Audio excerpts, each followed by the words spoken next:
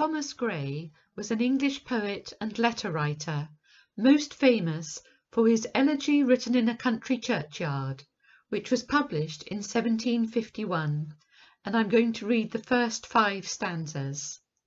It is thought that he began writing this poem in the graveyard of St Giles's Parish Church, Stoke Poges, where his aunt Mary Antrobus was buried.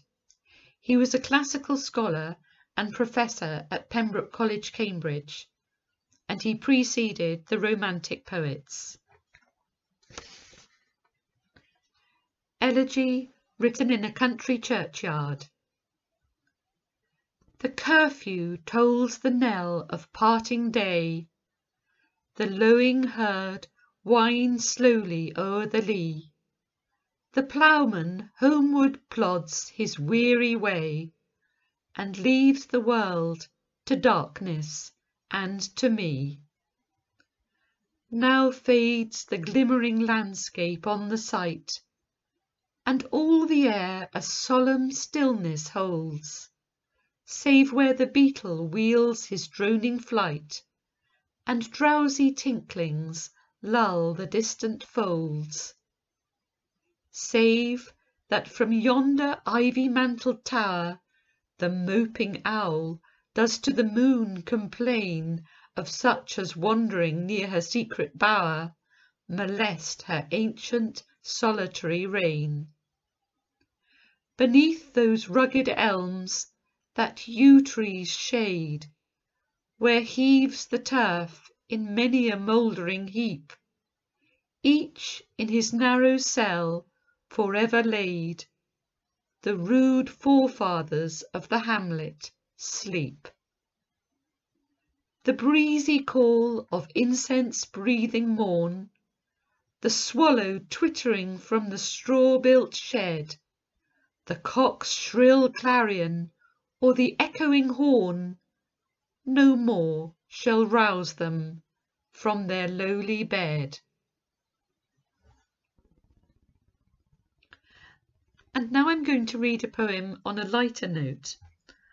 Horace Walpole, the son of the Prime Minister Robert Walpole, was a close friend of Thomas Gray's from his school days, and he wrote Ode on the Death of a Favourite Cat Drowned in a Tub of Goldfishes in 1747.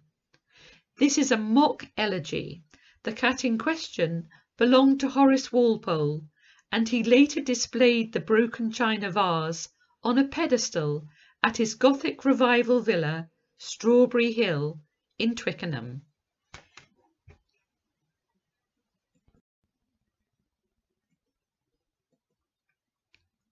Ode on the Death of a Favourite Cat, drowned in a tub of goldfishes.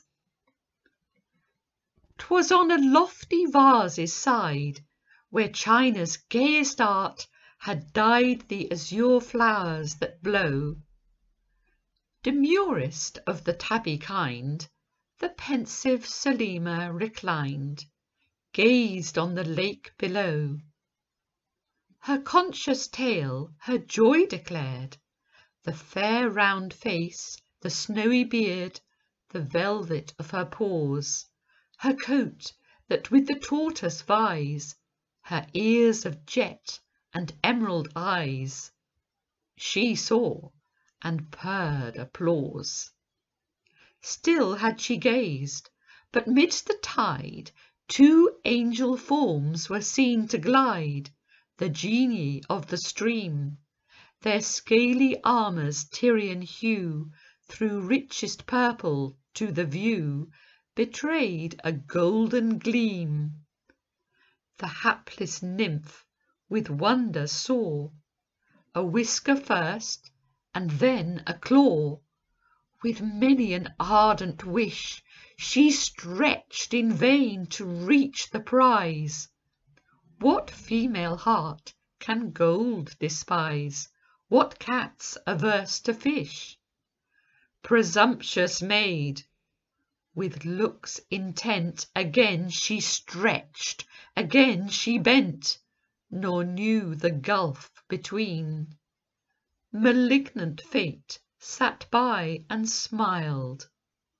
the slippery verge her feet beguiled, she tumbled headlong in.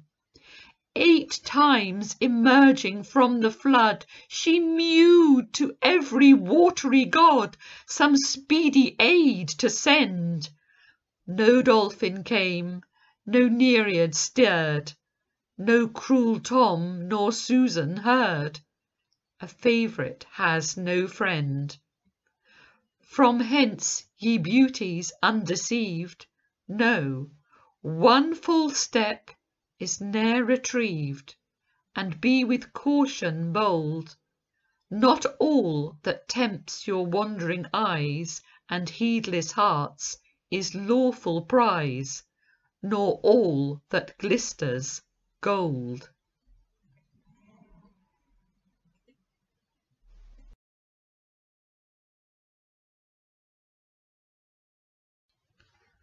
A Dead Rose by Elizabeth Barrett Browning O Rose, who dares to name thee? No longer roseate now, nor soft nor sweet, But pale and hard and dry as stubble wheat, Kept seven years in a drawer, thy titles shame thee. The breeze that used to blow thee between the hedgerow thorns and take away an odour up the lane to last all day, if breathing now, unsweetened, would forego thee.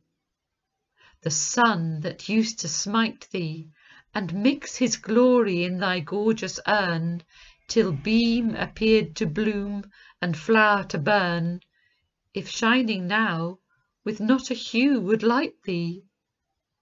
The dew that used to wet thee, and white first grow incarnadined, because it lay upon thee where the crimson was, if dropping now, would darken where it met thee. The fly that lit upon thee to stretch the tendrils of its tiny feet along thy leaf's pure edges after heat, if lighting now, would coldly overrun thee the bee that once did suck thee, and build thy perfumed ambers up his hive, and swoon in thee for joy, till scarce alive, if passing now, would blindly overlook thee. The heart doth recognize thee, alone, alone, the heart doth smell thee sweet, doth view thee fair, doth judge thee most complete, though seeing now those changes that disguise thee. Yes, and the heart doth owe thee more love, dead rose, than to such roses bold as Julia wears at dances, smiling cold. Lie still upon this heart which breaks below thee.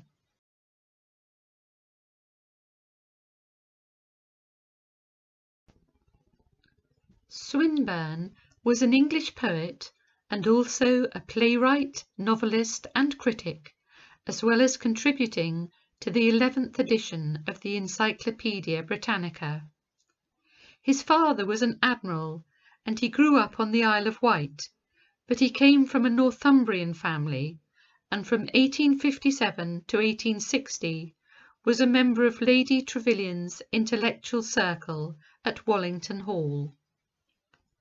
A Match by Algernon Charles Swinburne If love were what the rose is, And I were like the leaf, Our lives would grow together In sad or singing weather, Blown fields or flowerful closes, Green pleasure or grey grief. If love were what the rose is, And I were like the leaf. If I were what the words are, And love were like the tune, With double sound and single delight Our lips would mingle, With kisses glad as birds are That get sweet rain at noon. If I were what the words are, And love were like the tune. If you were life, my darling, and I your love were death, We'd shine and snow together, ere March made sweet the weather With daffodil and starling and hours of fruitful breath. If you were life, my darling, and I your love were death. If you were thrall to sorrow, and I were page to joy, We'd play for lives and seasons with loving looks and treasons, And tears of night and morrow, and laughs of maid and boy, If you were thrall to sorrow, and I were page to joy.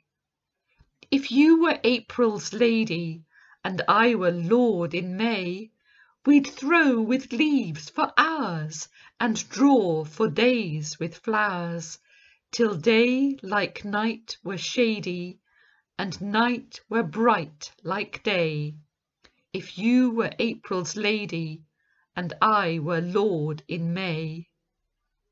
If you were queen of pleasure, and I were king of pain, We'd hunt down love together, pluck out his flying feather, And teach his feet a measure, and find his mouth a rein, If you were queen of pleasure, and I were king of pain.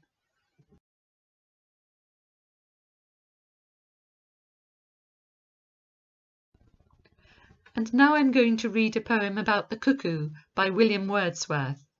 Some of us may remember when cuckoos were a feature of every spring. They were always heard, even if not seen. It seems that in Wordsworth's time they were also seldom seen. To the Cuckoo by William Wordsworth O blithe newcomer, I have heard, I hear thee and rejoice.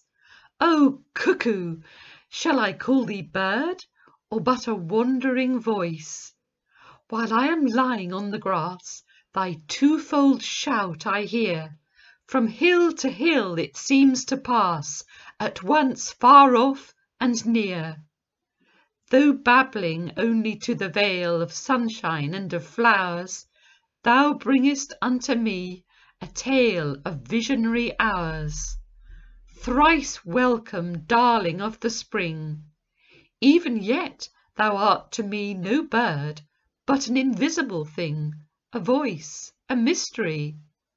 The same whom in my schoolboy days I listened to, that cry which made me look a thousand ways in bush and tree and sky.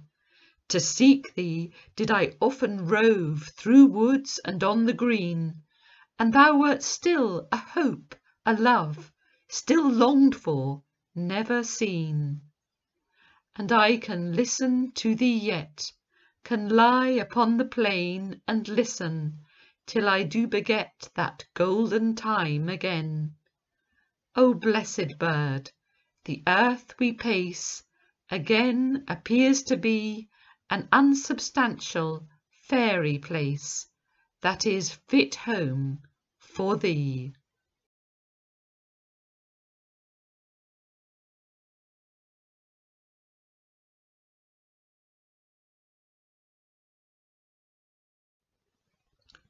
We do hope you enjoyed listening today. Please follow us on Facebook, Twitter and Instagram and share with friends and family.